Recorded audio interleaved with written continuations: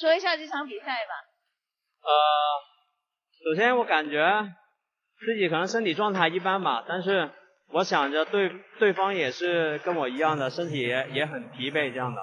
然后这次比赛他犯的错误比我多吧，然后呃我也是从这方面能够看呃能能够把他的无谓失误更就是犯的更更加多嘛。然后这场比赛我自己还是呃磕磕巴巴的。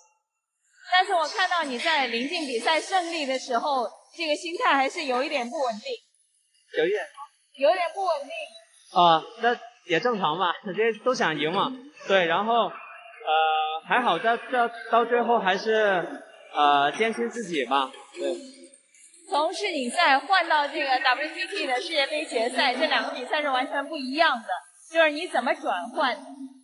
呃，首先我也来了这边几天吧，然后也是尽量的把时差能倒过来，对，然后，但我相信他的情况是跟我都一样，对他也是调不过来，对，所以呃也没办法，比赛对只能做到最好吧。